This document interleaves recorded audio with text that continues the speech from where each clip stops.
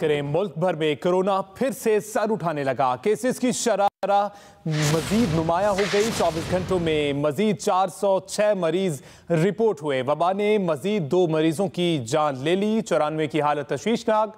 कौमी अदारा सेहत के मुताबिक मुल्क में कोरोना केसेस की शरह दो इशारिया आठ एक फ़ीसद तक पहुँच गई। कराची में मस्बत केसेस की शरह इक्कीस इशारिया सात एक फ़ीसद हो गई है। मुल्क भर में कोरोना फिर से फैलने लगा। कराची में मस्बत केसेस की शरह इक्कीस इशारिया सात एक फ़ीसद रिकॉर्ड की गई है। मुल्क भर में कोरोना केसेस की शरह में नुमाया इजाफा। 24 घंटे में मजीद 406 मरीज़ रिपोर्ट हुए।